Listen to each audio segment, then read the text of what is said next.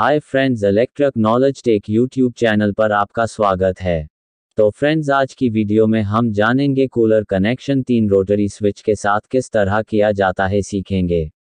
जैसे कि अभी new model plastic cooler market पर आ रहा है, उसमें तीन रोटरी स्विच देखने को मिलता है, उसका वायरिंग कनेक्शन आसान तरीका में सीखेंगे। तो सबसे पहले हम कंपोनेंट्स के बात करते हैं। एक मल्टी स्पीड फ़ैन मोटर होगी और एक स्विम मोटर होगी और एक वाटर पंप होगी। उसमें जो तीन रोटरी स्विच दी गई होती है, एक फ़ैन मोटर के लिए और एक स्विम मोटर के लिए और एक वाटर पंप मोटर के लिए होती है। फ़ैन मोटर के रोटरी स्विच में चार टर्मिनल होता है और स्विम मोटर के लिए दो टर्मिनल दिए गए होती और पंप के लिए दो टर्मिनल नहीं तो चार टर्मिनल दी गई होती। Normally multi speed fan motor में ब्लू यार कॉमन वायर होता है रेड वेयर लो स्पीड के लिए होती है वाइट वेयर मीडियम स्पीड के लिए होती है बट हमने ग्रीन वायर का यूज़ किया है और ब्लैक वायर हाई स्पीड के लिए होती है।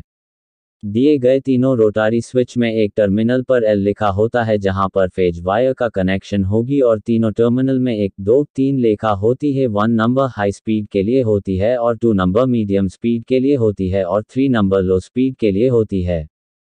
सबसे पहले हम तीनों रोटरी स्विच में एल टर्मिनल पर फेस का कनेक्शन करेंगे। अब हम न्यूट्रल का कनेक्शन करेंगे। न्यूट्रल का कनेक्शन हम वाटर पंप के एक वायर पर होगी और स्विम मोटर में एक बार में होगी और फ़ैन मोटर में ब्लू वायर कॉमन होती है। उसमें हम न्यूट्रल वायर का कनेक्शन करेंगे। तीनों रोटरी स्विच में कहीं पर भी न्यूट्रल का कनेक्शन नहीं होगी।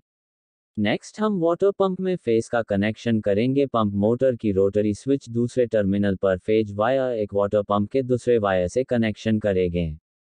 नेक्स्ट हम स्विम मोटर में फ़ेज़ कनेक्शन करेंगे। स्विम मोटर के रोटरी स्विच के दूसरे टर्मिनल से एक वायर लेकर स्विम मोटर के दूसरे वायर से कनेक्शन करेंगे। तो नेक्स्ट हम अभी फ़ैन मोटर में फ़ेज़ वायर का कनेक्शन करेंगे। फ़ैन मोटर की रोटरी स्विच के एक नंबर टर्मिनल पर ब्लैक कलर की वायर लेकर फ़ैन मोटर की ब्लैक कलर वायर से कनेक्शन करेंगे, जो कि हाई स्पीड के लिए होता है। फिर दो नंबर की टर्मिनल से फ़ेज़ कनेक्शन करके फ़ैन मोटर की वाइट कलर की वायर से कनेक्शन करेंगे बट हम वहाँ पे ग्रीन कलर का वायर यूज़ किया है, जो मीडियम स्पीड के लिए होता है। नेक्स्ट हम तीन नंबर टर्मिनल से एक रेड कलर की पेज वायर लेकर फ़ैन मोटर की रेड कलर वेयर से कनेक्शन करेंगे, जो लो स्पीड के लिए होता है। तो तीनों कंपोनेंट में कंप्लीट कनेक्शन हो गया है। तो फ्रेंड्स इसी तरह आप भी कूलर की कनेक्शन तीन रोटरी स्विच के साथ कूलर कनेक्शन कर पाएँगे। तो वीडियो अच्छा लगा तो लाइक करें और सब्सक्राइब करें हमारे यूट्यूब चैनल को।